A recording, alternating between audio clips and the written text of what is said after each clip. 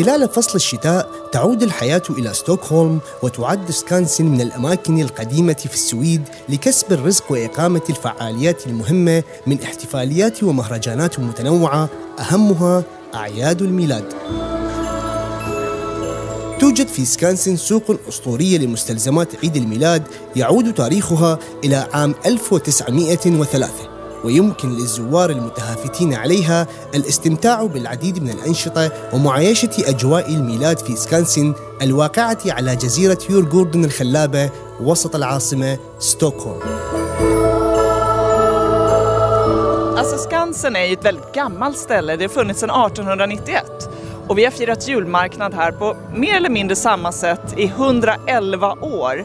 Så när man kommer hit så kan man få se en riktigt traditionell svensk julmarknad. Det är lotterier och man kan köpa hantverk och julgodis och julklappar och sådär. Så det, det är en otroligt populär tradition. Och det är väldigt många stockholmare framför allt som säger att de kan inte fira jul utan att ha varit på Skansens julmarknad. Men det är inte bara julmarknad utan man kan gå in i gamla historiska hus från hela Sverige, från uppe i norr till i söder och se hur firade man jul då?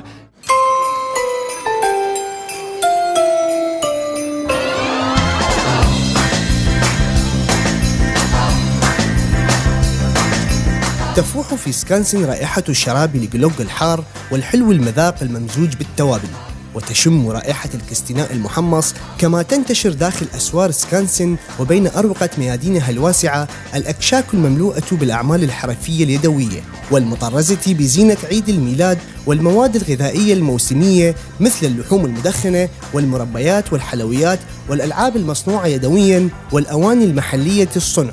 ويمكنك سماع دق أجراس الكنائس القديمة محتفلة بقدوم أعياد الميلاد حيث يتهافت الزوار في هذا الوقت من كل عام لتناول كعك الزنجبيل التقليدي لما يضفيه من شعور بالدفء في الأجواء الباردة. Man brukar äta, eller vissa människor äter året runt, andra människor äter bara till jul och då börjar man vid första advent. Och så äter man det och så dricker man glögg. kan man ha lite ost på pepparkakorna också. Man kan även äta med marmelad eller smör. Det kommer väldigt långt tillbaka ifrån. Spänd inför julen när man känner att nu är det snart jul. Så att det är liksom början på, på julen.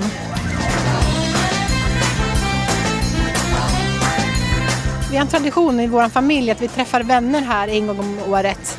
Det brukar vara första advent som vi träffas och nu blir det andra advent. Så då träffas vi här och eh, dansar runt granen och äter lunch här och, och njuter av att julen snart är här. Äta rostade mandlar och, och alla eh, blommor som finns och, och, sånt. Det är helt underbart. Och det är fantastiskt, jättevackert. Nu så ska vi eh, gå runt och titta i alla stånden här och sen så ska vi äta lunch som vi har tagit med oss hit.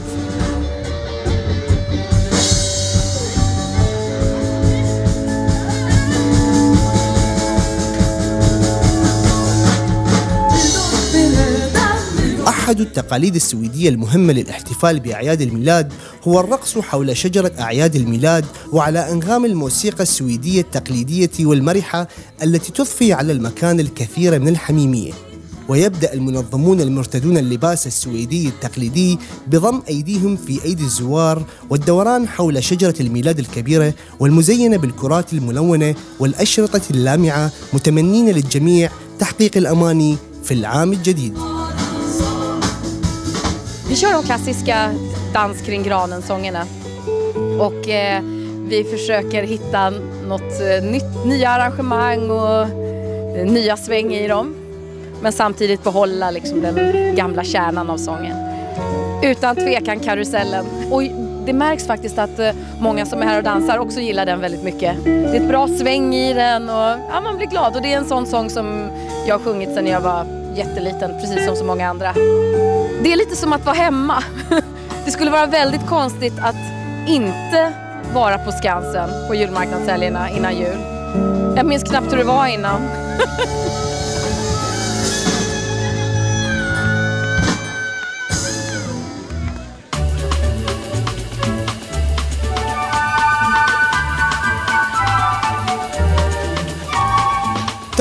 تمنح سكانسن فرصة صناعة ديكورات التزيين لأي شخص يمكنه ذلك ويستطيع الزائر ابتكار ما يحلو له من أفكار تصوغ أشكالا من الشموع التقليدية بمختلف أنواعها والمخصصة لتزيين المنازل وموائد الطعام خلال فترة عيد الميلاد.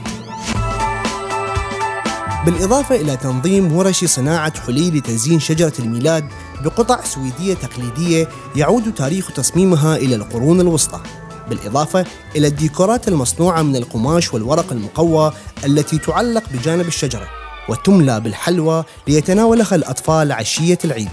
وتشهد هذه الورش مشاركة الكبار وحتى الصغار حيث يحرص الآباء على تعليم أطفالهم طرق صناعة الحلي بأيديهم وإضفاء لمساتهم الخاصة عليها.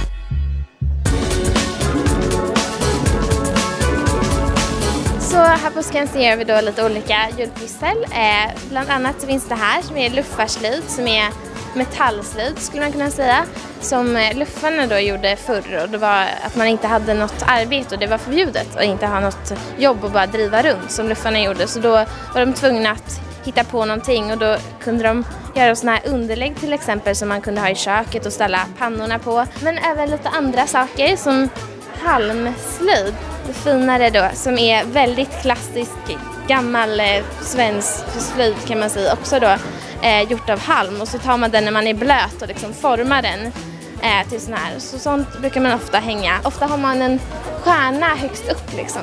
Barn gillar ja, glitter och allt som har med jul att göra och det är väl lite barnens högtid också på sätt och vis. Eh, för det är de som tror på tomten mest och gillar allt sånt. Så det är väldigt kul. Det är bra stämning tycker jag.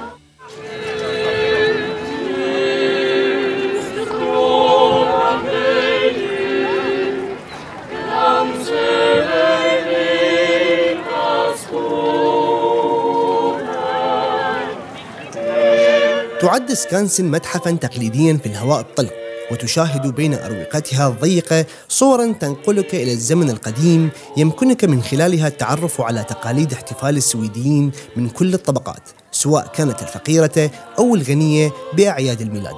فالطبقات الغنية كان أغلبها من المزارعين الأثرياء يحتفلون بإقامة مائدة كبيرة لكل ما لذ وطاب. وتعرف بمائدة السمورغوس بورد حيث يقال أن الطعام يترك على الطاولة طيلة الليل كي يأتي الأموات للاحتفال أما الفقراء فكانوا ينمون خيالهم بإلقاء حكايات عن مغامرات شخصية بابا نويل أو تومتن كما يسمونه والذي تختلف مواصفاته عن الشخصية المعروفة حول العالم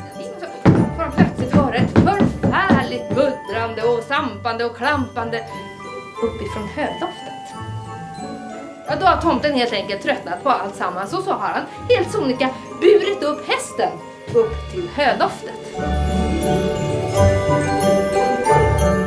Det är väldigt eh, dynamiskt och roligt. Det är många olika platser som jag får uppleva på en och samma dag. Och just i den här klädseln så är jag i hus där jag representerar någon form av sekelskiftesliv.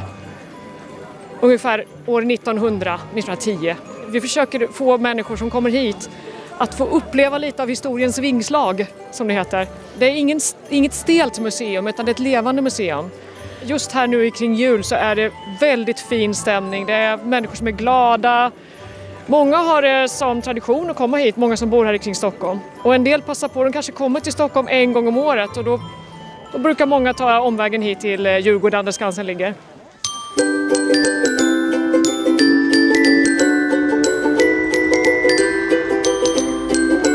تزين مدينة ستوكهولم كل عام في هذا الوقت بأشكال رائعة وألوان زاهية من الأضواء المبتكرة ويكمن سبب الاهتمام بالإنارة لظلمة الأيام في شهر كانون الأول ديسمبر حيث تعطي الأضواء دفئا وسحرا خاصا تنعش شوارع المدينة وأزقتها الضيق. والمزدحمة حتى وقت متأخر من الليل بالمتبضعين المنشغلين باقتناء هدايا العيد لأحبائهم والاستمتاع بواجهات النوافذ التي تحتفل هي الأخرى بطريقة معبرة تنقل البهجة والدفء لكل الناس برغم برودة شهر ديسمبر وظلمة أيامه. عمار سعد لبرنامج مراسلون الشرقية ستوكهولم.